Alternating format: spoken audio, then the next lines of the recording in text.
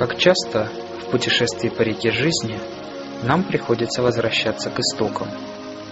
К истокам нашего жизненного опыта, то есть переживаниям раннего детства, к духовным истокам, то есть к вечному опыту своей души, и к историческим истокам, обращаясь к памяти предыдущих поколений. И, почерпнув из истока сил, мы продолжаем движение вперед, но уже более мудрыми, более цельными. Поэтому и современная медицина, несмотря на значительный прогресс, оглядывается в историческое прошлое и ищет там нереализованные еще возможности. Нам уже хорошо известна традиционная медицина Китая, аюрведическая медицина. И сейчас к нам возвращается целительное здраво, глубоко самобытная система – основанная на многовековом опыте славянского народа. Мы имеем возможность познакомиться и овладеть этой системой благодаря в особенности труду нескольких человек. Владислава Эдуардовича Мишалкина, который много лет занимается исследованием боевого и целительского наследия славян и внес очень большой вклад в разработку практической части современной версии славянской гимнастики. Олег Валентинович Величко является и наставником, и хранителем традиции. Предки Олега Валентиновича были из терских казаков, и в его роду знания о целительском и военном искусстве передавались из поколения в поколение. Сам Олег Валентинович унаследовал родовые традиции от дяди и переработал эти знания, положив на свой жизненный опыт и боевые навыки.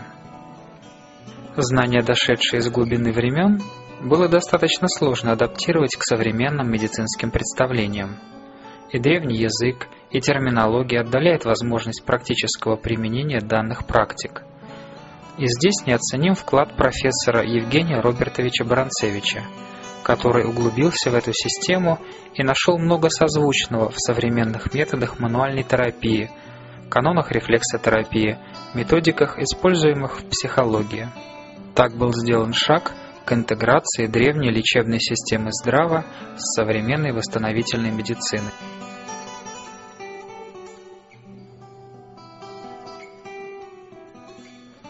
Таким образом, появилась славянская гимнастика, как методологически выверенный комплекс упражнений, который позволяет эффективно, в короткое время восстановить свое физическое здоровье, свой энергетический потенциал – а также гармонизировать свои отношения в обществе и в семье. И, возможно, для кого-то занятие славянской гимнастикой явится и толчком для духовного развития, ибо глубина практики раскрывается не сразу, а постепенно, в результате кропотливой работы. Несколько лет занятий в Санкт-Петербурге с группами обучающихся подтвердили высокую эффективность и актуальность славянской гимнастики.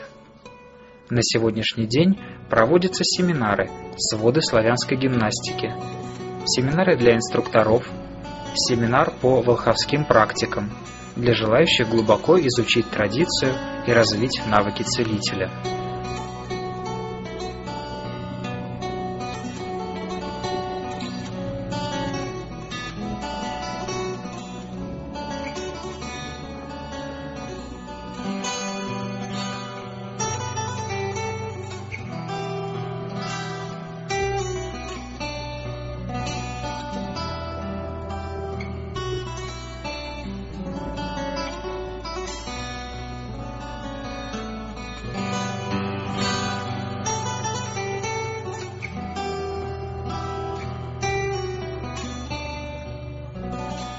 руководством Владислава Эдуардовича Мишалкина также ведутся практические занятия по оздоровительной боевой системе «Медведь».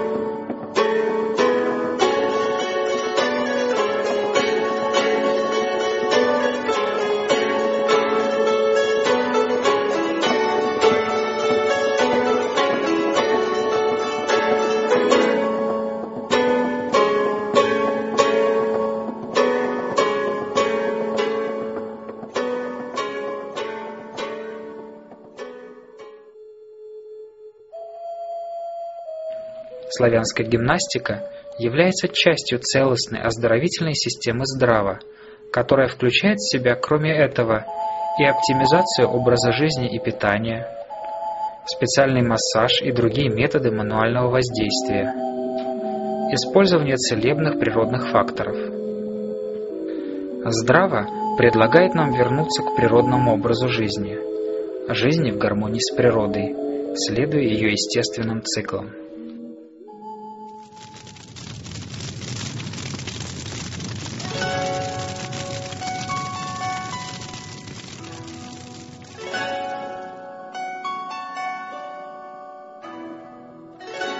Естественно, славянская гимнастика – это современное название, выбранное для того, чтобы люди нашего времени спокойно воспринимали эту интереснейшую, полезнейшую, эффективную систему. На самом деле она имеет глубочайшие, древнейшие корни. Первое направление – это традиция. Мы для себя ее обозначили как южно-русская традиция.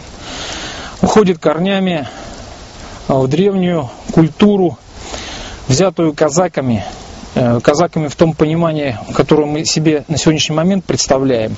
Хотя на самом деле этот термин очень древний. И поднимается он в те пласты истории, которые мы знаем как антская культура. Древний народ антов занимал огромнейшую территорию близ горы Алатырь, современное название Эльбрус.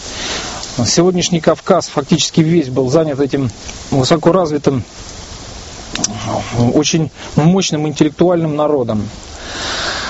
Еще глубже, более глубокий пласт истории предверяет анскую культуру. Это культура так называемая кемерийская. Даже в книге Велеса есть указание на то, что произошли мы от химеров. Тогда еще люди того времени в отличие от современных людей, гораздо лучше знали и понимали строение человека, воспринимали его не как физическое грубое тело, которое рождается в какой-то момент, живет какой-то период и затем умирает навсегда, унося с собой все, что им создано и так далее. Воспринимали человеческий организм гораздо шире. Исходя из этого, была очень хорошо развита у этих народов, как у антов, так и у кемерийцев, и астрология и медицина, естественно, боевое искусство. Все это в купе выразилось а, в то, что мы из казачьей южно-русской культуры а, воспринимаем как спас. На самом деле а, спас тоже делится на три вида, три вида спаса. Мы знаем так называемый бойцовый спас, который обучались юноши родившиеся в сословии воинов или витязей, буквально с колыбели. Им давали определенные упражнения, приучали быть бесстрашными, и лучшие из них становились витязями, или мы знаем еще более глубокий, более древний термин характерники. Да? Не от слова характер, а и слово характер, и слово характерник происходит от одного из имен Всевышнего, имени Хара. То есть эти воины, они жили в Боге, фактически это были монахи, монахи-воины, они воспринимали любовь к Богу именно во время сечи. Во время сечи они испытывали взаимодействие с Богом и получали так называемый вот то, что современным э, теософам известно эзотерикам как религиозный экстаз. Второе направление, которое нам известно, это так называемый спас обережный. Мы повсюду сталкиваемся с ним, изучая свою родную славянскую культуру. Это и орнамент на наличниках, орнамент на полотенцах, орнамент на национальной одежды, да, те же солярные или свастичные знаки.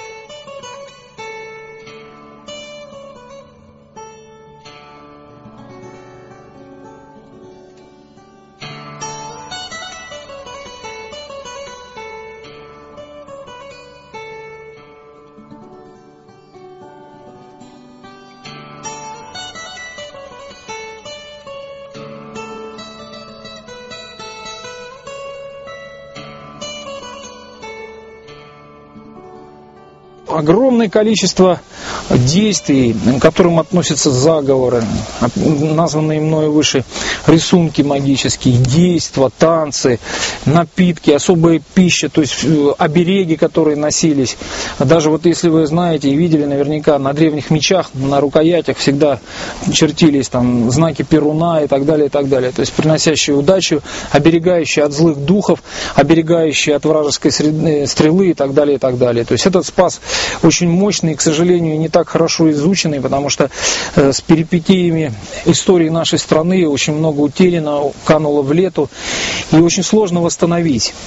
И третий вид спаса, это так называемый э, лекарский или ликовальный спас, который э, конкретно занимался тем, что э, лечил э, человека комплексно, как личность, не только его физическое тело, там правил суставы, э, мышцы, так называемые западки в них, но также занимался его психикой, его нравственной э, стороной, занимался его философской стороной, то есть готовил его к самому главному, к цели жизни человеческой. И вот говоря о том, что э, мы останавливаемся на современном термине славянская гимнастика. Почему? Потому что анты, как кемерийцы, они явились вот тем огромным пластом, тем фундаментом, на основе которого появились славянские народы.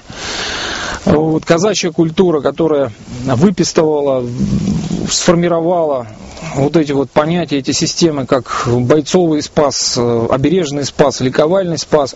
И вот мы из этой системы предлагаем ко вниманию, к изучению именно а, те знания, которые мы почерпнули на основе ликовального спаса. Наряду с непосредственными лечебными техниками, о которых мы будем говорить отдельно, чуть позже и, скорее всего, с специалистами, то есть с врачами, мы поговорим о гимнастической системе, которая органично вплеталась в жизнь наших предков, то есть она не являлась чем-то экстраординарным. Этим занимались все, все сословия, и волхвы, и князья, и торговцы, то есть веси, и работники, рабочие, то есть смерды в то время время так они назывались, и женщины. У женщин был свой спас, свои упражнения. Это обретало некую серьезную систему. И э, в зависимости от надобности, от необходимости э, личность углублялась в постижение этой системы и ставила перед собой определенные задачи. И оказалось, что э, наши предки обладали очень мощными методиками. И изучая их, сопоставляя с теми знаниями, которые накоплены современной медициной, мы, в общем-то, получили определенную систему, которая оказалась достаточно проста, относительно проста в изучении, в доступе легко выполнимо и, как показывает уже третий год практики, да, третий год уже люди занимаются в группах по вот системе славянской гимнастики, она оказывается очень эффективной. То есть я к чему это все сказал? К тому, что мы пытаемся найти ту грань, которая даст возможность современному человеку рационально окунуться в историю, да, в культуру, вот славянского народа. В то же время родовой силе, вот тому древнему полезному знанию просочиться в сознание современного человека, да, и чтобы они не отталкивали друг друга, а наоборот притягивали. И самое главное была не просто э, какая-то мифическая такая вот э, философская или не знаю какая польза, а конкретная практика, то есть практическая, практическая, практический результат, то есть здоровье, здоровье физическое, здоровье энергетическое, здоровье психическое, все это взаимосвязано, взаимосвязано и э, соответствует пониманию наших предков о, э, так сказать, многослойности человеческого организма.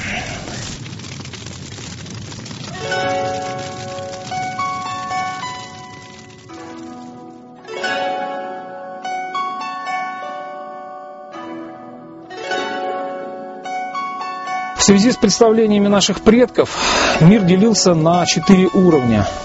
Это Навь, мир э, за чертой, за границей, за так пробежным местом так называемым, э, где начиналась э, жизнь различного рода существ, не имеющих физического тела, непроявленных. Да, к ним в темной Наве это прежде всего известные из фольклора, вот те же вурдалаки, волкодлаки, там, бесы и так далее, и так далее. Э, в восточной традиции это джины, то есть существа, наделенные очень серьезными э, магическими силами и в то же время не имеющими возможность действовать в физическом теле. Это мир яви, то есть мир наш с вами людской, где э, мы существуем, действуем и так далее, и так далее. Разделялась также вот Навь на темную и светлую. Светлая Навь – это область, куда туда уходили особые выдающиеся представители рода, или так родообразующие личности, которые по представлениям наших предков, и в общем-то мы тоже придерживаемся этой традиции, они находятся и по сей день вот в этой мощнейшей, огромнейшей области, и из нее своей энергией поддерживают нас до сих пор. Известен термин «родовая сила». Естественно, если воин, идущий по тропе боевого искусства, или же э, целитель, идущий по тропе целительства, знахарь, хотя, в принципе, два этих понятия должны быть монолитны, потому что человек, который умеет калечить, умеет отнимать жизнь, обязан уметь жизнь восстанавливать, обязан уметь лечить. Поэтому для того, чтобы достичь определенных результатов на этом пути, необходимо подключение, подсоединение к родовой силе. Есть способы, методы, методики, которые приводят к этому состоянию. Естественно, различался мир праве или мир богов или полубогов. Это огромный пантеон э, личностей, обладающих мощнейшей энергией, которые, э, в принципе, для атеистов выглядят как силы природы и так далее, и так далее. И еще известен мир славе. Это трансцендентальный духовный мир, где обладает Всевышний. Прежде всего, э, знание наших предков основывалось на том, что всему основой, всему началом является Всевышний. То есть этот факт у них не вызывал сомнения, был неоспорим, что он создатель, он безграничный, нерожденный, великий обладатель всеми богатствами, всеми силами, всеми преимуществами и так далее, и так далее. Отсюда вывод, что человек, по представлению славян, является существо пограничное. То есть, с одной стороны, это душа или духовная частица, которая находится в области правого предсердия и составляет по данным ведическим одну десятитысячную часть сечения волоса, настолько микроскопическая, там можно его еще можно назвать духовным атомом. То есть это частица непосредственно Всевышнего.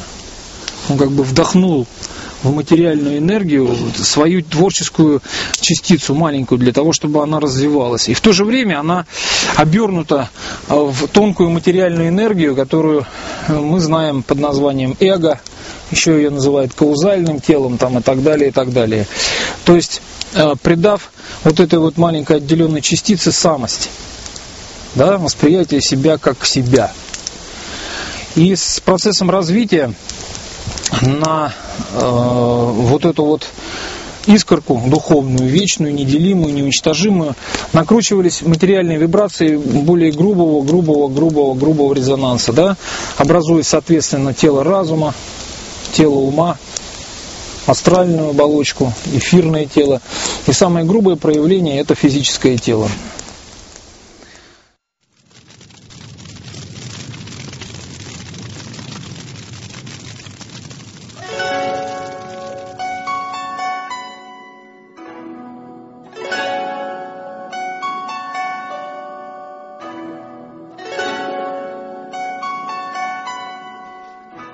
Собственно, физическое тело – это не весь человек, а только видимое, осязаемое ядро, вокруг которого расположены его информационно-энергетические двойники. Совокупность этих тонких тел – эфирного, то есть энергетического, астрального, то есть тела чувств, и ментального, то есть тела ума, которые окружают и пронизывают тело физическое – в славянской традиции носит название Ведагон. Ведагон имеет свои границы, формы и размеры. Внутренняя граница Ведагона соответствует эфирному телу, которое по форме повторяет физическое. Она отстоит от тела не менее чем на 40 сантиметров. Если границы сужены, здоровье человека нарушается, появляются болезни. Внешняя граница видогона соответствует телу ума. Она имеет каплевидную форму, образуя над макушкой острие духа. Через острие духа человек связан с верхним миром. И не случайно именно такую форму имели боевые шлемы русских витязей. Размеры внешней границы видогона весьма индивидуальны и в среднем составляют от 3 до 6 метров. Видогон не является неподвижным, а находится в постоянном вращении. У видогона есть еще название – индивидуальный поселенный пузырь или пузырь жизни, или сопь. И вот эта вот сопь, она полностью повторяет, как маленькая модель Вселенной. Имеет следующую структуру. В ней находится три основных ядра сознания. Это три глав так называемого серебряного ядра сознания, находящегося в нижней части человеческого тела. Это медное ядро сознания, находящееся в средней части, в груди, и золотое ядро сознания, находящееся в области головы. Каждый они имеет свою функцию в отдельности и в то же время взаимодействуют. И чем гармоничнее они взаимосвязаны, тем э, целостнее личность, целостнее человек. Представлении славян ядра или царство сознания ассоциировались с образом мирового древа – Мировое древо связывает между собой нижний мир, землю и небо. Серебряному царству соответствуют корни мирового дерева. Подобно корням, это царство обеспечивает тело человека жизненной силой или живой, как говорили славяне. Медному царству соответствует ствол мирового древа. Это царство воспринимает и излучает энергии мира Яви, энергию творческого созидания – энергии любви и добра, энергию интуитивного познания мира. Золотому царству соответствует крона мирового древа, так как это царство связывает человека с небом. Через центры Золотого Царства принимаются и излучаются энергии мира славе. Благодаря им в мир яви в виде образов искусства переносится прекрасное из более высоких миров. Благодаря им развивается интеллект и открываются экстрасенсорные способности. Через них человек поддерживает духовную связь с миром славе. По представлениям славян, физическое тело взаимодействует вот с этим вот энергетическим коконом, с собью, посредством так называемых стогнов. Слово стогн у славян воспринималось как перекресток да, перекресток. Поэтому, если представить себе, что вот это вот сопь, этот кокон, он и внутри, и снаружи весь состоит из энергетических волокон, да, то, скажем, исходя даже из волновой теории, они образуют места пересечения, то есть места рефракции, усиления или наоборот снижения вибрации. И вот славяне различали 9 таких центров или 9 основных стогн. Всего их 188. 9 основных. Это исток, находящийся на длину ладони ниже промежности. Зарод, находящийся в области лунного сочленения. Живот, который находится в области пупка. Ярло, находящееся в области солнечного сплетения. Лель, находящаяся в области правого плечевого сустава. Лада, находящаяся в области левого плечевого сустава. Горло, находящееся примерно на уровне еремной ямки. Чело, находящееся в области межбровья. И родник, расположенный на длину ладони выше темени. Кроме вот этих вот названий, которые используются достаточно широко и сегодня в системе здравия, мы используем еще определенные философские понятия. Тело человеческое представляет из себя древо, крестообразное древо, да, на котором сидит 9 птиц под названием птицы алконосты. Алконосты. Каждая птица имела свое имя, имеет свое имя и соответствует основному стогну. И славяне говорили о том, что э, руководить или командовать, или контролировать этими птицами невозможно. С ними продвинутый, развитый человек с точки зрения философии, разума, силы, он может взаимодействовать. Если человек обыкновенный, он может и не знать об их существовании, они просто либо помогают, либо его подтормаживают, либо создают такие условия для того, чтобы душа покинула тело и получила дальнейшее развитие какое-то. Итак, можно назвать их имена.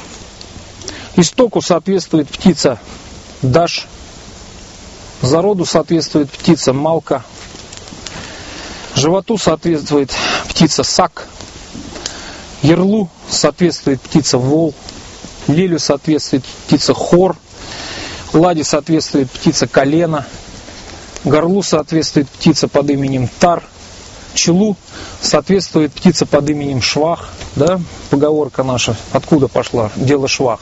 Это значит, что человек завяз в делах и в проблемах по самое чело, да, дело Швах. И птица Рот, а, соответствующая стогну родника.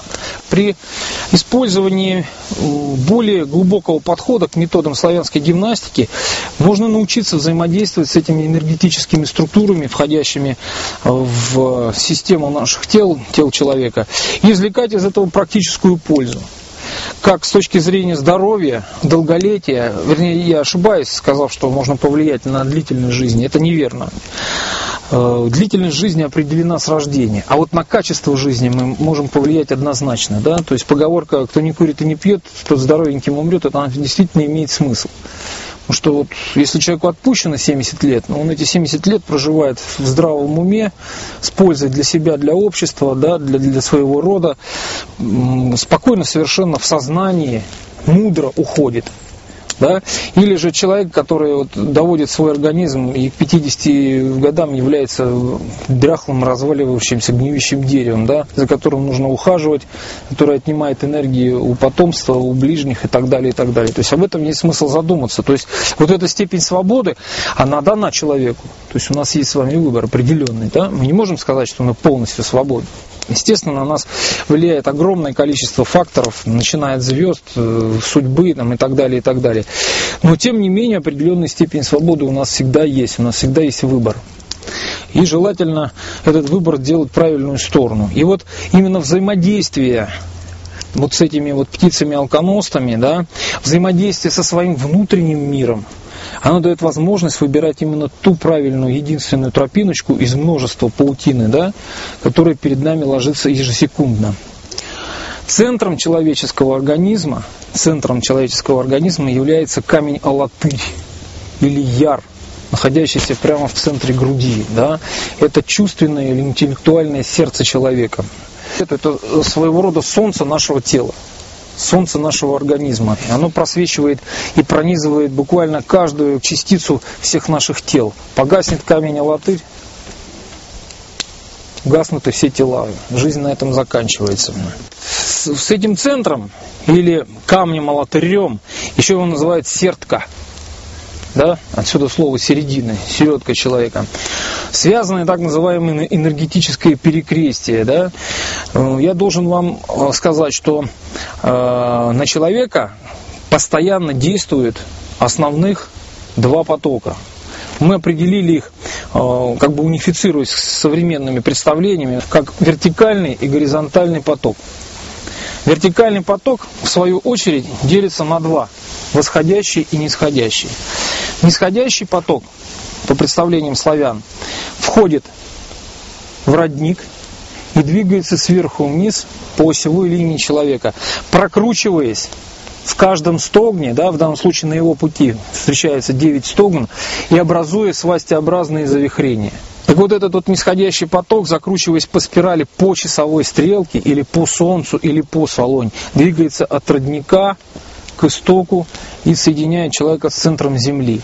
Нужно отметить, что как родник, как и исток, это два стогна или чакры, которые расположены в горизонтальной плоскости и, можно сказать, являются кодирующими устройствами. Почему? Потому что если нисходящий или космический поток или божественный поток непосредственно попадет в наше тело, вот без этого вот кодирующего устройства нас просто сожжет. Мы не готовы его воспринимать. Поэтому, если хотите, в упрощенной форме, вот родник, он как бы присваивает персональному нисходящему потоку космическому для каждой личности свой номер. Да, и только с этим номером, то есть с определенной вибрацией, этот поток проходит по организму.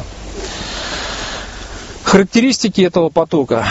он питает, естественно, интеллект прежде всего. То есть это центральная нервная система, это периферическая нервная система, эндокринная система, да?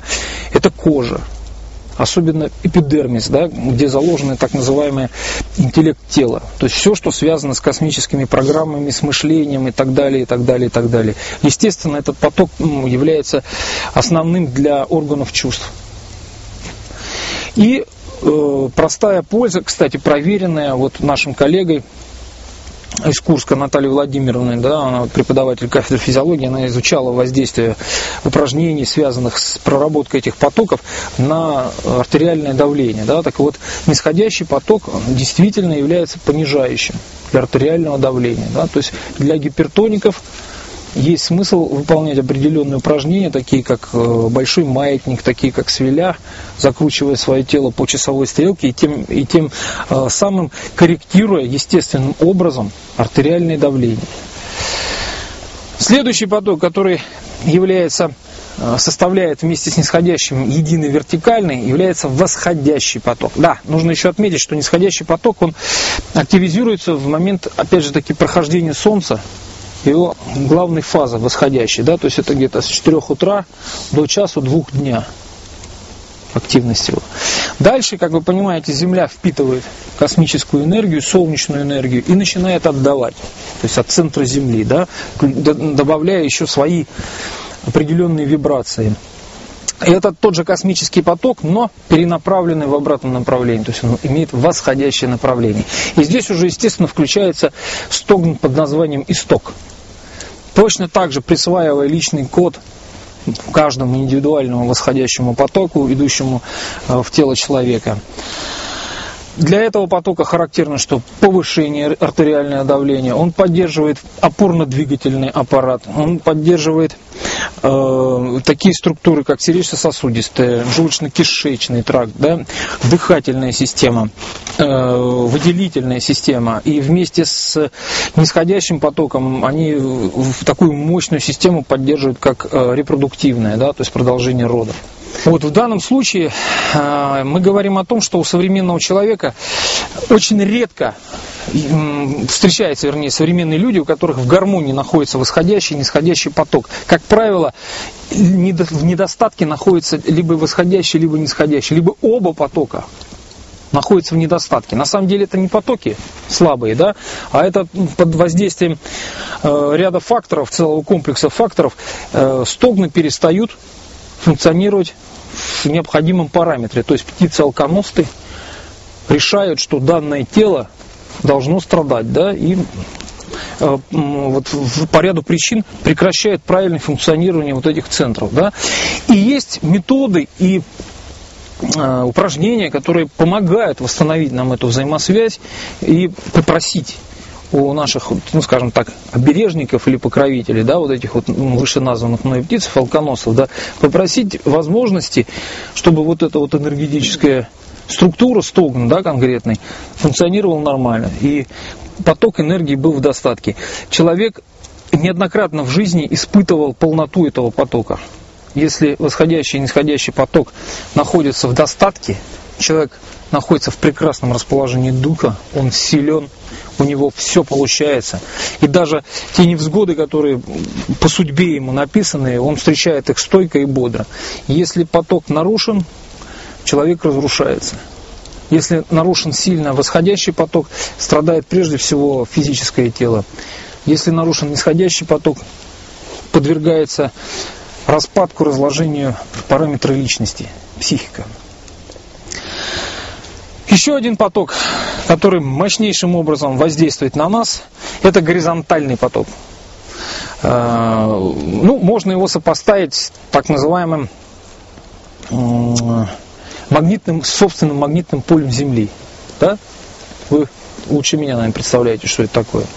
И вот он входит, если можно так сказать, под прямым углом тоже в область Яра, образуя с вертикальным потоком так называемый крест света – почему издревле и христианская традиция переняла традицию это, да, в отношении креста именно на этом месте, обозначение, вот это крест света, да, то есть где пересекаются вот эти вот линии энергии. Ну, энергия Земли нас укрепляет прежде всего физически. или, как мы говорим, заземляет. Особенно актуальна эта проблема сейчас поднимается, потому что люди отрываются от природы, связь нарушена да, с исходным, а из-за этого идет очень много-много-много искажений, как вот в параметрах здоровья психического, физического отдельной личности, так и здоровья общества в целом.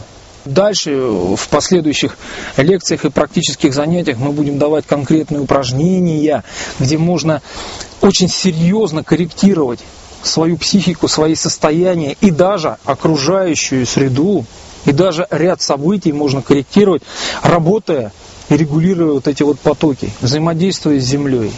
Да, взаимодействуя со стопами. Мы с вами в дальнейшем узнаем, что за чудесное создание наша стопа, а мы ее заковали в ботинки и забыли, да? Что из себя представляет пятка или пята. То есть это не просто кость, которую можно почесать, и все да? а это целое духовное сборище, собрание, вернее, целый центр духовный. Да? Не зря же есть поговорка. Душа куда? В пятки. Да? В какой момент? Когда нам страшно. Страшно какое-то событие. То есть практически можно сказать, что в какой-то момент мы родились, и наша душа начала движение из пятки.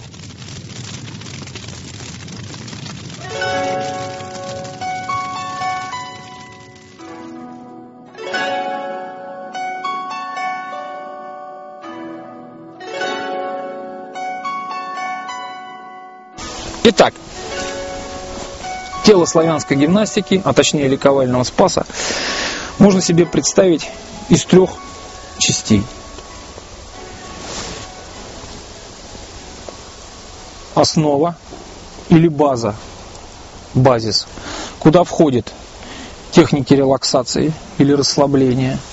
Я назову их, это так называемые опокойные техники от слова опочивальня, то есть то место, где человек может отдохнуть и чувствовать себя в безопасности. Это техники сердечной регуляции, то есть э, выработка умения взаимодействия с собственным внутренним маятником, то есть сердцем. Ведь большинство из нас не слушает свое сердце вообще, действует с ним в разнобой. А ведь это тот ритм жизненный, отталкиваться от которого мы должны не только в упражнениях, а вообще и в боевой практике, и вообще в жизни. Да? Есть поговорка «мудрый не торопится», но есть еще вторая часть этой поговорки «мудрый живет с сердцем». Да? В базис также входят обережные техники. Мы выбрали самые простые, самые доступные, которые вот простой человек современный может понять и выполнять. Это вот был базис или намный уровень. Дальше идет явный уровень где собраны, во-первых, четыре основных стихии. Это воздух, огонь, вода, земля, закрученные в лад. А ладу в индоарийской традиции соответствует эфир. И, соответственно, там же в этом вот, в явном мире действуют своды славянской гимнастики. Я назову их поочередно. Это свод Перуна, свод Хорса, свод Велеса вместе со сводом Макоши и свод стри Бога. Через секунду мы вернемся к этим сводам после того, как я назову состав надстройки или правного уровня. Туда входят волховские техники. Ну, скажем так, мистические или магические техники, которыми можно заниматься только развив определенные способности своего тела, сознания и энергии. Мы их пока оставим, это дела будущего и так далее, и так далее. И поговорим немного о вот этом вот явном уровне или о теле славянской гимнастики. Итак, свод Перуна. Стихия огонь. Место приложения – сознание. То есть цель свода Перуна прежде всего динамизировать сознание – дать возможность человеку владеть своим сознанием, воображением, то есть контролировать или интеллектуализировать, если можно так выразиться, разум. Почему? Потому что основой гимнастики является прежде всего что? Идиомоторика. Что без идиомоторного обеспечения все эти упражнения становятся просто обыкновенной физкультурой и ничем не отличается от вот, шейпинга, фитнеса и так далее, и так далее. Точно так же постепенно изнашивают суставы с очень даже приличным коэффициентом действия. После того, как человек пройдет определенные упражнения и методы свода Перуна, то есть его сознание становится подвижным, он владеет, контролирует своим сознанием, и таким мощным инструментом, как выражение, приступает к так называемому своду Хорса, несмотря на то, что этому своду соответствует первостихия вода, а свод, а, вернее, бог Хорс, он Солнце да, представляет, тут есть некое сопоставление. Солнечный свет, представьте себе на секунду, вот нажали на выключатель, солнца нет. Что здесь произойдет? Все, ничего не будет, потому что все, все, все, все здесь пропитано, все здесь растет и живет, огонь горит, мы с вами дышим, там птички поют только за счет того, что в этой вселенной светит солнце, и его энергия, его лучи, его вибрации пронизывают все и днем, и ночью, независимо от того, видим мы их или нет. И вот это свойство постоянства и в то же время текучести, да, оно как раз и характерно воде. Соответственно, задача Задача свода Хорса – это восстановить правильное и гармоничное течение энергии по так называемым тайным руслам тела. Для этого в этот свод включены основные комплексы. Это прежде всего жива, это комплекс огромный вейга, включающий в то же время и парную вейгу, да, которая представляет из себя не что иное, как серьезный комплекс мануального воздействия, э, который может стать доступным для обыкновенного человека, да, даже не имеющего медицинского образования, даже начального. И это блоки.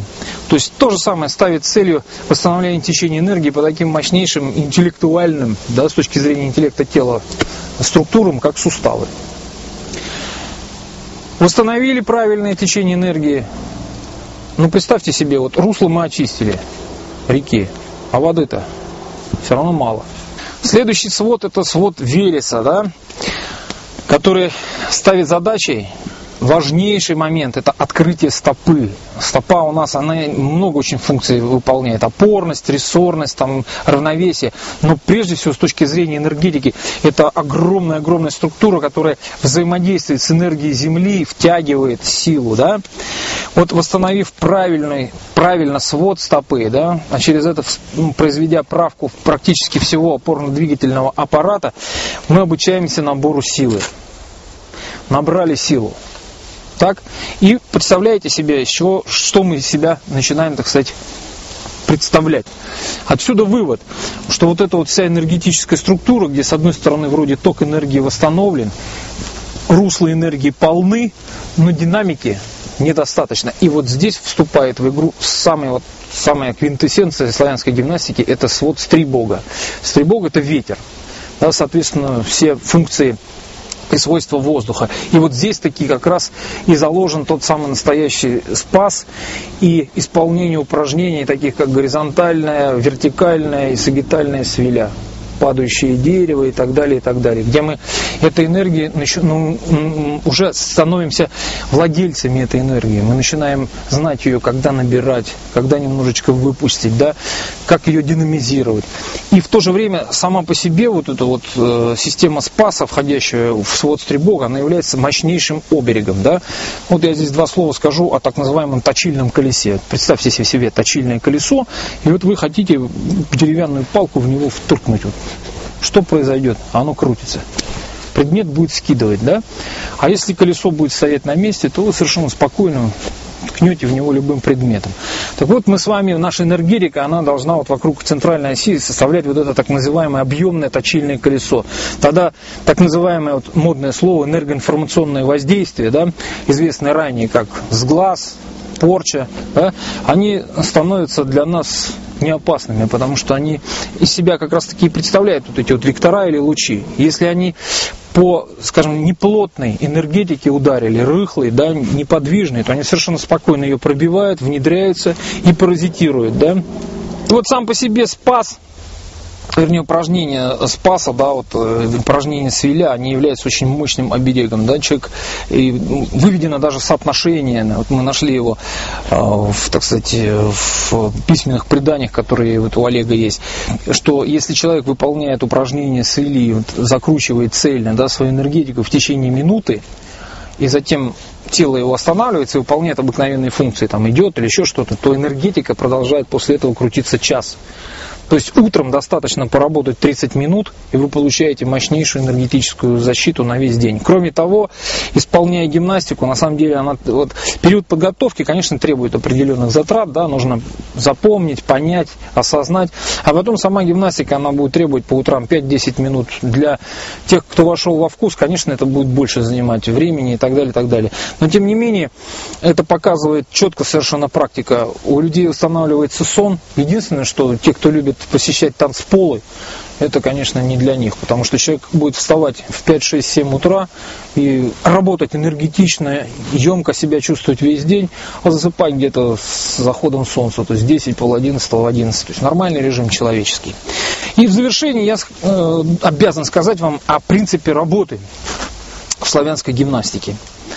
Итак, основным полем деятельности славянской гимнастики является разум – это его функция идиомоторика. У него есть такой инструмент, как воображение. Та сила, которая воздействует на воображение, известна нам как воля.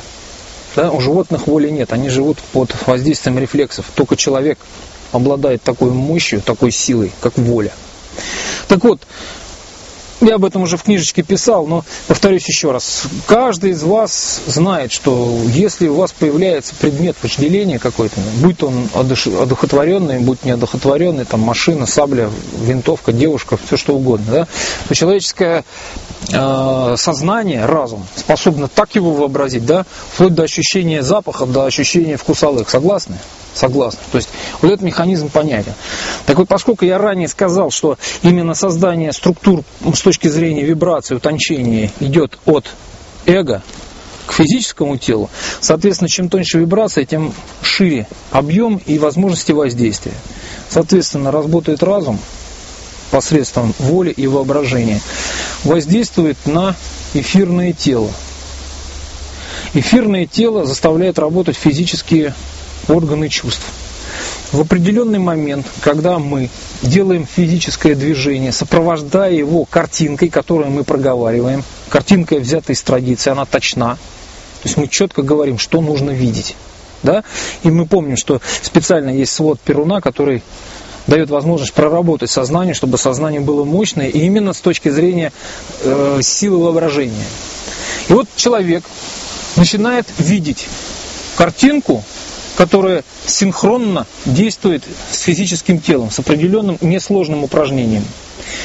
И мы точно знаем, что именно в астральном теле заложено порядка 90% энергии, данной вообще человеку для деятельности. Почему? Потому что вы знаете, сила чувств непреодолима, да, то есть мощь чувств, она всегда преобладает. И вот наступает постепенно момент, когда вот в эту цепь начинает задействоваться энергия из астрального тела. И вот тогда включаются физические ощущения. То есть идиомоторика для вас уже становится в принципе не нужна. Вы начинаете движение, и у вас идет ток энергии, идет набор энергии, идет, идет динамизация и так далее, и так далее.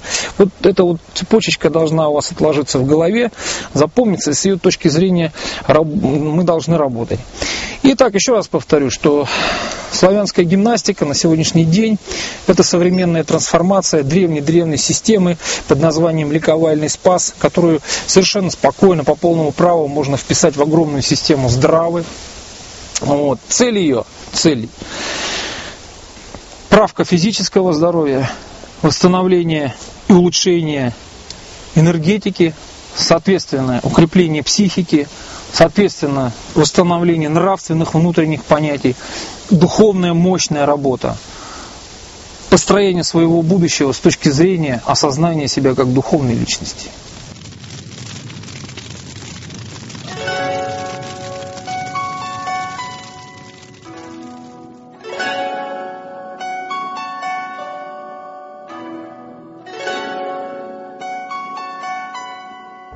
говорим о том, что для того, чтобы изучить славянскую гимнастику, нужно выполнить шесть принципов славянской гимнастики. Это прежде всего принцип вера, заключенный в том, что э, неверующий человек, который не понимает, что все созданное вокруг нас является э, творением Всевышнего, если человек изначально думает о том, что все грубо материально, то я думаю, что этому человеку нет смысла заниматься славянской гимнастикой, и для начала ему стоит э, просто постараться поднять свой уровень мышления до уровня разума. Если же человек стоит на такой ступени развития, когда он понимает а, вот эти вот глубокие процессы, основы процессов, хотя бы начально, то, конечно, мы приглашаем в это удивительное путешествие для того, чтобы мы с вами вместе прошли, освоили вот этот вот курс славянской гимнастики. Также в этот принцип веры э, заложены следующие позиции. Главное начать, да, то есть приложить волю, усилие воли начать, это продолжать заниматься и в конечном итоге научиться исполнять выполнять это все дело самому. А, следующий принцип, который а, заложен а, для изучения славянской гимнастики, это как раз принцип воля. Что он означает? Э, этот принцип означает, что мы должны постоянно работать над своим разумом, да, поскольку мы родились в телах людей, и мы должны сознание жителя или люда поднять до уровня сознания человека, да, то есть вибрации, которые распространяются на такие энергетические центры, как горло, чело и родник ученик. И в силу воли, вот эта мощная энергия, она должна все время совершенствоваться нами, она должна все время быть в работе. То есть мы отдыхаем только во время сна. Причем э, человеку, который достаточно профессионально занимается славянской гимнастикой, если можно так выразиться, профессионально, ему достаточно 6 часов сна. Но этот сон будет буквально четко по часам. Также мы рассматриваем принцип лень, как ни странно звучит это слово, но тем не менее вы должны его правильно понять. Мы говорим о том, что физические усилия в выполнении наших комплексов упражнений не требуется. Достаточно, ну если можно так сказать, условно 30% затрат организма. Поэтому мы считаем нашу гимнастику доступной всем и даже людям, которые, к сожалению, страдают серьезными заболеваниями. Но вот работа разума требуется здесь в полную мощь. Поэтому тело не должно уставать. После наших комплексов и упражнений вы должны чувствовать, наоборот, энергетический подъем, желание жизни, желание участвовать, проявить свои таланты, может быть, открыть какие-то новые пути, независимо от вашего возраста, новые пути в познании окружающего, в познании философии, истории и просто деятельности, как в материальном, финансовом отношении. Обязательно рассматривается принцип э, инструктор или преподаватель. Если вы считаете, а э, тест здесь очень прост, если вам приносит пользу и радость занятия славянской гимнастики, гимнастикой, то вы обязательно должны передать близким. Это могут быть друзья, могут быть э, члены вашей семьи, могут быть люди, которым вы просто решили, с, которыми вы просто решили поделиться этой очень важной и нужной информацией. И сам по себе этот принцип, когда вот вы поймете, что если вы передадите кому-то свои знания, то ваш уровень мастерства повысится. Следующий принцип это принцип постоянства. Да? То есть в хорошем смысле слова вы должны заболеть славянской гимнастикой и заниматься ей каждодневно. 3 минуты, 5 минут, 10 минут, два раза в день, ну, буквально секундный, там, за рулем автомобиля, в офисе, когда есть перерыв между работой, на производстве и так далее, и так далее.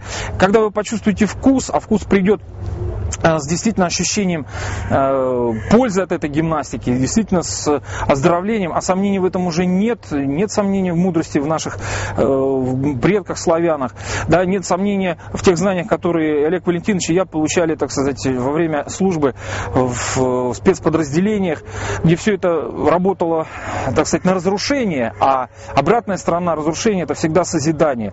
И вот уже третий год функционирования групп славянской гимнастики показывает, что она эффективна и очень эффективна. Люди дают отзывы благоприятные, что нас очень радует. И стимулирует на движение дальше. И завершающий принцип, и, наверное, самый главный, это принцип любовь.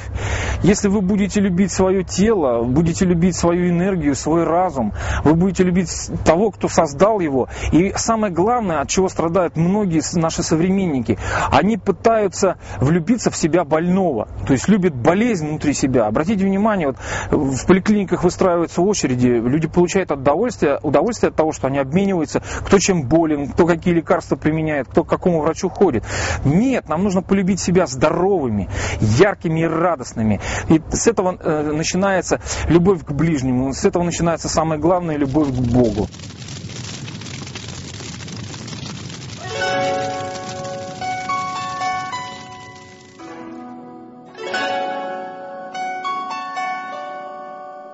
Дополнительных средств э, для выполнения славянской гимнастики не требуется. Мы можем заниматься как вот на луне природы, э, как в спортивном зале. Но, конечно, приоритет нужно отдавать занятиям на открытом воздухе. Великолепно действуют и деревья. Мы знаем, что такие деревья, как вот э, сосна, ель и другие хвойные, в летнее время они дают мощную энергию. А в зимнее время они, предположим, снимают негативную энергию. Наша любимая русская береза является является универсальным деревом, потому что оно гармонизирует э, потоки энергии, которые в нас находятся. Осина является великолепным деревом, которое снимает негатив. Э, любимая сирень, которая расцветает в начале лета, великолепная, дающая энергию растений. И много-много э, информации, которая хранится у нас и передана через Олега Валентиновича Величко о растениях, о травах, она со временем будет вам предоставлена. Но в любом случае э, поймите, что условия нашего существования, особенно в больших городах, э, характерны тем, что мы соприкасаемся не только телами, да, например, во время часа пика в метро, но мы постоянно соприкасаемся и нашими видогонами или индивидуальными энергоинформационными пространствами. Если тело может отдохнуть, э, скажем, э, когда мы легли э, на кровать или на диван, расслабившись, то видогон находится в постоянном напряжении из-за вот этих вот энергетических контактов. Если вы вышли на природу и вокруг вас хотя бы в радиусе 50 метров не находится ни одного видогона или человека, то он автоматически начинает восстанавливаться, и вы себя чувствуете. Мне не нужно рекламировать прогулки по природе и так далее, и так далее. Но активная деятельность, да, вот в рамках славянской гимнастики, она, конечно, э, сделает процесс гармонизации вашего организма и оздоровления гораздо более эффективным, гораздо более быстрым. Единственная рекомендация, что в начале занятий, пожалуйста, избегайте э, близости к железнодорожным к железнодорожному полотну, а также к линиям ЛЭП, потому что они сами по себе являются источниками мощного излучения и могут, э, ну, скажем так, внести негативные поправки в вашу деятельность, в вашей, в вашей энергетике. Итак, мы приглашаем вас заняться славянской гимнастикой. Пусть это будет для вас радостный путь, удовольствие, принесет много пользы и счастья.